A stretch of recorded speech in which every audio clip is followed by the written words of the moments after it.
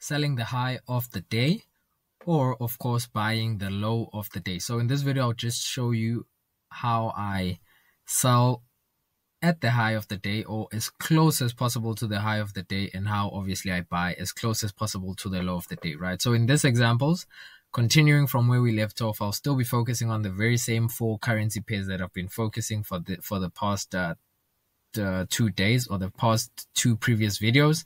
So starting off with Euro USD, essentially, I try by all means to stick to the principle which states that you should buy low and sell high. So I try to sell as high as much as possible. And most with that, with keeping that in mind, that is why I try to sell as close as possible or at the high of the day. So for me to identify that, uh, so I just go into the one hour to make this quick uh, and short.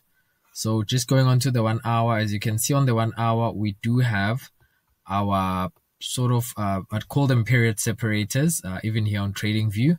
Uh, but uh, these, these, these are actual, actually session breaks, right? So as you can see, this line, this is 24 hours or this is a session, right? Or a day, right? Of trading. So in this case, if we are looking to sell as close as possible to the high of the day, then that means that we are looking at we are looking at selling around here, right? So this is where we had looked to enter. Essentially, it was on the four hour, uh, in as the as the actual example, and this was the high of the day, which was Thursday the fourth, right? So my entry should be as close as possible to the high of the day. But how do I delineate where the high of the day is. So essentially at the start of the day, what I do to make it easier, what I do is that just the first candle that opens. So on the first candles open uh, on the hourly, or you can even just do it on the actual daily time frame. Then you just plot a horizontal line, right? So a horizontal line or a horizontal ray if you're using uh, a trading view. And then as long as price is above that, I, I that is what I deem as high prices or expensive prices for me to sell at because it is this at some point will form the high of the day. As long as we are above the open of the day, it means that that that that area is is will potentially at some point form the high of the day, right? So that is how I do it. So just go into the one hour, go into the daily and just highlight that level. Once you've done all the, all the steps that we mentioned in the first video where we started on the monthly and the weekly. And then the second video where we focused on entries using the, your, four hour, one hour, 30 minutes or 15 minutes as a, as an entry trigger time frame.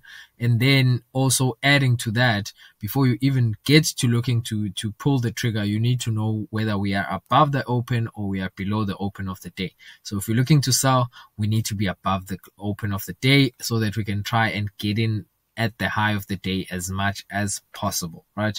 So that is one thing to take note of and also to keep in mind. So if we go into Euro AUD same process. Uh, we'd look we'd look to execute around the high of the day. So if we look at Euro AUD as well, uh, this was the start of the day, as you can see, and then this is the end of the day. So this was our our entry trigger or signal to enter. Then you waited for a pullback by placing a sell limit, of course, right? And then as you can see, where's the open of of of of of, of uh, Wednesday, the 26th of April? Here's the open roundabout here. So you can see we are already above, which means for me, based on the day, this price is expensive. So at some point we will form the high of the day. So I try to get as close as close as possible to the high of the day whenever I'm executing my entries because and at that point when I'm executing, I do not know if it is the high of the day. But as long as I know that it is above our open, then that is good. And it also goes goes goes goes into the weekly time frame. Also on the weekly time frame, are we are we above the open of the weekly time frame if I'm looking to sell? So the same process but on the weekly time frame. It's the same thing that I adopt, right? And then another thing, another beneficial thing of, of entering at the high of the day in terms of selling or buying at the low of the day is that you get those very good risk to reward ratio trades, right? So if you're able to catch the high of the day, the high of the week, then you're in a very good position once the trade starts moving in your favor, right? So you're able to maximize on the pips, maximize on the move, and all of that. So going to Euro NZD as well, similar process, right? On on on on on your on your one hour or even on you can use the daily time frame.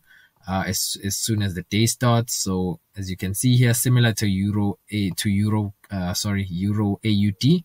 So this was the open right here so this was the open and price was already above. This was my entry trigger on the one hour, then waited for price to pull back here, placing a sell limit, right? And then I got triggered in, right? If you do not understand how I executed these trades from the start to where I am right now in terms of the actual move, then just go back to the first, to not the first, but the two previous videos and rewatch those videos so you can get an insight. And if you're still not clear, drop it in the comments so that I can try and do a follow-up video where I try and explain things clearer for you, right? So, um, yeah, if you do not understand why I'm in these positions, just go back or how I executed these positions, just watch the two previous videos. And then, uh, if we look at EuroCAD, if we look at EuroCAD, same process. If I'm looking to sell, I'm looking where is the high, well, not where is the high of the day, but first thing, where is the open? Because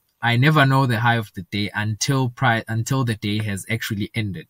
That is when I'll know if this is the high of the day. But essentially, this is where price opened. So as long as I'm above, I know that one of, one of, at some point we will form the high of the day or we'll have a top or the, what we'll consider as the high of the day, but that is not confirmed until the day actually ends. So my what I focus on as most important is am I above the daily open if I'm looking to sell? Am I above the weekly open if I'm looking to sell? Am I below the daily open if I'm looking to buy?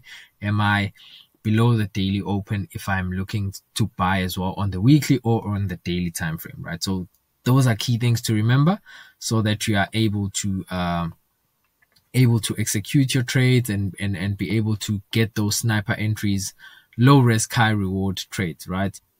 So now I'll just switch over to the daily time frame so you can see the risk to reward and where the open of the day was, right? For that specific, for that particular day where I got my entries, right? So as you can see, this was the open and then I managed to enter around the high of the day. And then as you can see, good risk to reward ratio, EuroCAD, Euro NZD, similar story. Uh, this was the open of the day, managed to enter around or as close as possible to the high of the day and then good risk to reward ratio, right? 61 pips currently floating close to se- over 770 pips on this trade alone, right? So you're able to get those good risk to rewards, good risk to reward or high, low risk, high reward trades. Uh, if you're able to enter or sell above the open of the day. Let's put it that way. So you can try and be as close as possible to the high of the day or buy below the, the, the open of the day, right? To try and be as close as possible to the low of the day. And remember, the reason for that is every, the same, the statement that everyone throws around, buy low, sell high. We're sticking to that. Nothing fancy, nothing, nothing new.